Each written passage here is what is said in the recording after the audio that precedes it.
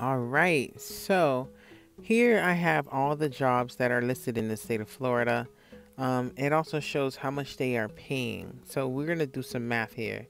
So here, this job, uh, I'm not sure how much it paid. I think it paid like what's the cost of the job? I didn't get the chance to see how much it pays.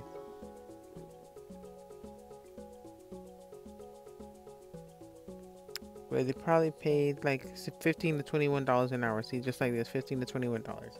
So that's the average for a customer service uh, agent or sales agent here in the state of florida um, pays. So like 15 to 21 15 dollars to 21 dollars.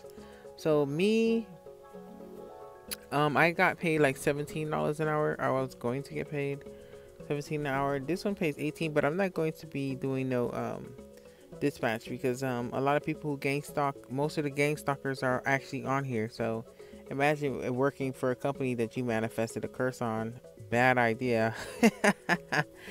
Bad idea.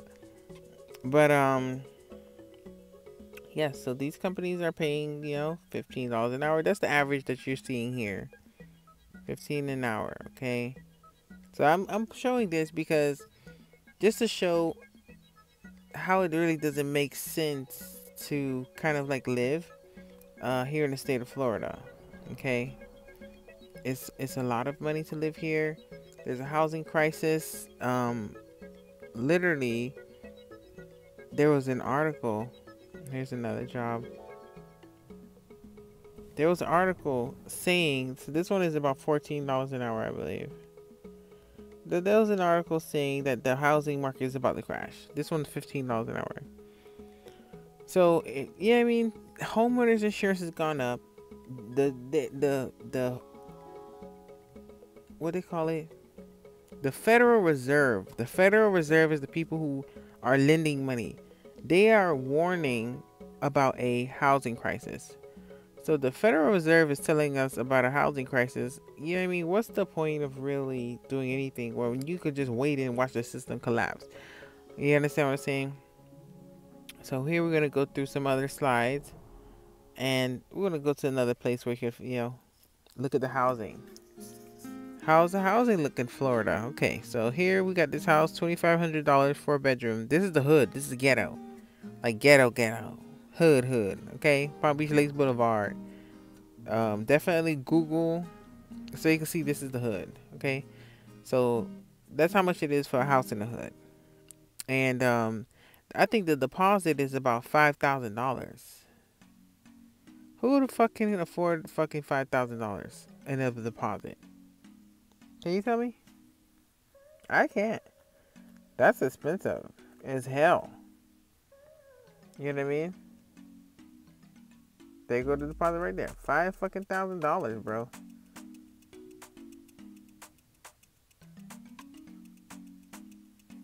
Five thousand dollar deposit. Twenty five hundred dollars a month. Fifteen dollars an hour. Six hundred dollars a week. Twelve hundred dollars every two weeks. Twenty four hundred dollars every month. Twenty five hundred dollar rent. Does that make sense? There's one for $1,900 here. You understand? But even then, you know, mm, still in the ghetto. Still in the hood. This one is $1,370. Same thing. Okay, you gotta Google the address here. This is 1043 21st Street, West Palm Beach, Florida. Like I said, that's the ghetto, that's the hood all these houses in the hood these like the this the projects they call it. This is the projects of west palm beach okay? So the only way that you could get an affordable housing here is if you stay in the absolute hood hood hood. You understand what i'm saying? So that's the prices you see here. The price is decent but they ghetto. Like ghetto ghetto. And this is another site now you're gonna see some of the nice upper uppity houses. This one, eight thousand dollars for the nice area. Okay. This Riviera, two thousand, same thing. This this one, nice area, eight thousand dollars. Eight thousand dollars to stay in a, a fucking place like that. Okay, so two thousand two hundred fifty dollars for one bedroom. What the fucking fuck? Seven thousand dollars. You know what I mean? This is the prices in Florida to stay in a safe neighborhood. Safety is costing too much. They're like, yeah, I mean, who could afford? What person on Section 8 could afford eight thousand dollars, seven thousand dollars in rent? Ain't not a motherfucker on Section 8 could afford that. Even three thousand. You know what I'm saying? But that's what they do. They don't want certain people to stay in certain places, certain people of a certain demographic. So they, you know what I mean? You have to live in a ghetto in the hood. That's the only way you'll be able to afford to basically live in South Florida. The same area that I just showed you, it says toddler dies in West Palm Beach, right? Toddler dies after being shot. You see what I'm saying? I'm keep showing a woman, four month old baby shot in West Palm Beach. And then worse things, they found a goddamn man in a garbage can in West Palm Beach. And this is the place that they're saying that the rent is a bit cheaper. You understand? I even have to go down into the news because, like, literally, it's always crimes and motherfuckers dying up in there. It's goddamn junkies and all types of shit. And this is the only way that you're gonna be able to, you know what I mean, even afford a house. But like I said, the housing market is about to crash, according to the Federal Reserve. So if the housing market is about to crash, what is the point of doing anything? Because uh, you know what I mean. I don't know what tomorrow may bring. I could start working to try to get a house because I'm not going to apply for no assistance, rental assistance, because the thing is, it's a beast system. The people who run the system is the very same people who are gang stalking me. And I have tried this game many, many, many, many times. And this is the best results I've ever gotten. Although I'm homeless, the fact that the system is collapsing is progress. All I have to do is just not be a part of this beast system. And I refuse to keep going back to work for fucking people who are gang stalking me. I have tried to work two jobs before, and they purposely tell people not to give me the second job so that I don't move to certain areas. You understand what I'm saying? These people are evil, and I'm not going to be a part of this beast system. It's, look at the calculations. If you get paid $20 an hour, right?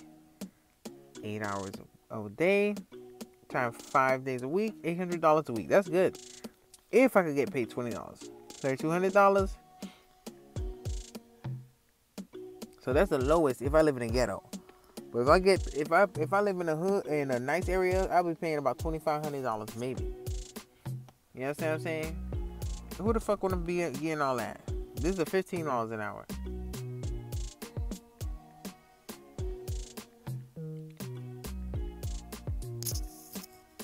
All right, yeah, seven hundred dollars left over. We got bills bills done got raised up high. So about four hundred dollars a month. Electricity and water. You feel me? Maybe cable.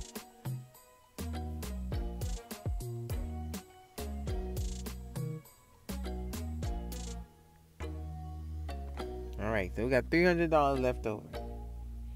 Now we gonna need some gas probably. Probably like two hundred dollars, depending on where you work. The rest is for fucking food and groceries. That's not no no other leisure. You can't go out to eat. You can't buy weed. This is all you left with. This is this is what you're doing. You living on planet Earth just to fucking live. You paying just to breathe. You can't even afford to fucking buy a goddamn joint and smoke some weed, but like you just fucking living on goddamn planet Earth. Like this shit is ghetto. I'm gonna just let this motherfucker collapse because it's already on the verge of collapsing. anyway. We wait on the straw to break the camel's back. Fuck the V system.